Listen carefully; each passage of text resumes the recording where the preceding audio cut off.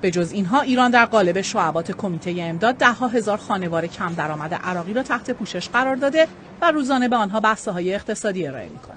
تعداد زیادی از عراقی ها گذار از روزهای سخت را مدیون حمایت این نهاد هستند. نشکر مؤسسه الامام الخمینی از کمیته امداد امام خمینی برای کمک های ماهیانه به زنان بیوه و کودکان تشکر می کنم. ما به مقاومت مردم عراق، به مقاومت مردم سوریه، به مقاومت مردم لبنان افتخار می کنیم. ما به مقاومت فلسطین افتخار می کنیم. ما افتخار می کنیم که به خاطر فلسطین تحت فشاریم.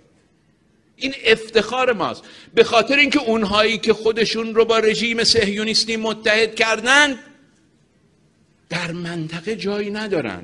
اونایی که امروز دارن تلاش می‌کنن از طریق یک اتحاد پوشالی با آقای نتانیاهو به حکمرانی برسن اینها ان اوهن البیوت لبیت العنکبوت. دارن بر باد خانه می‌سازن. خداوند انشاءالله همه ما را آدم کن. راه تو ارزشی دارد این جان ما. آینده باد خاک ایران ما. راه تو کی ارزشی دارد این جان